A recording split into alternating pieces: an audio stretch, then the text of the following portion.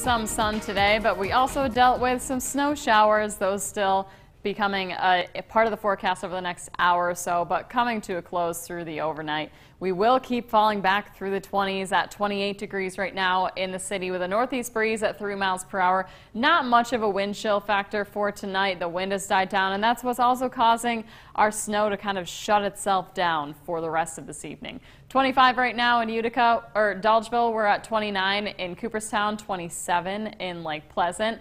We had some more widespread light snow, but it is really coming to a close over the next hour or two, leaving us under partly cloudy skies through tonight.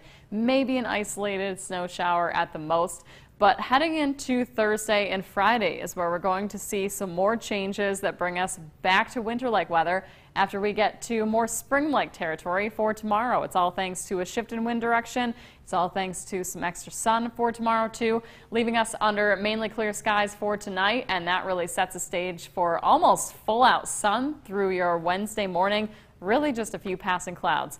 Very pleasant, very quiet through tomorrow afternoon, which will get us into the upper 40s. Not too bad for this time of year. But heading into Thursday is where we will see some changes. This is going to start out as a chance of snow to start as temperatures are below freezing in the morning.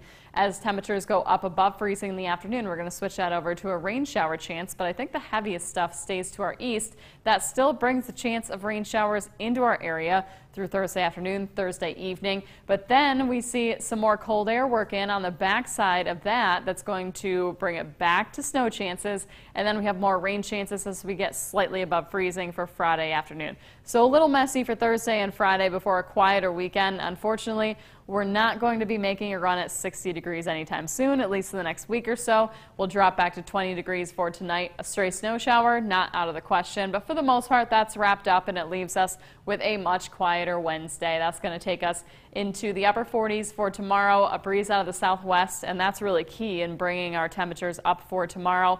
But by Thursday, this is where we see some changes. That's the storm system that's going to bring us rain showers for Thursday afternoon as we get into the lower 40s, but our overnight low temperatures stay in the 20s. Upper 30s to round out the work week on Friday, and that again will be brought with rain showers in the afternoon as we get in the upper 30s, and then snow shower chances overnight as we drop back into the 20s.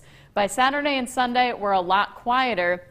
34 degrees the high temperature on Saturday, partly cloudy skies and we're into the upper 40s for your Sunday. Not too bad before our next storm system brings up our rain and snow chance again on Monday. Angie?